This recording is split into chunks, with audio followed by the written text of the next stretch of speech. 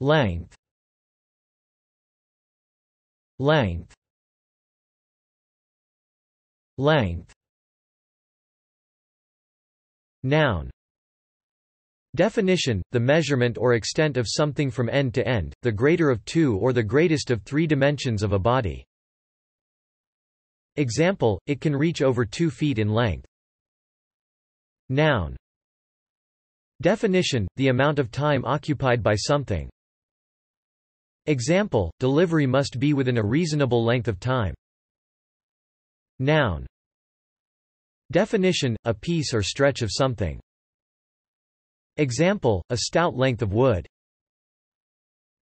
Thanks for watching this video. Be sure to subscribe to our channel to get more free learning resources.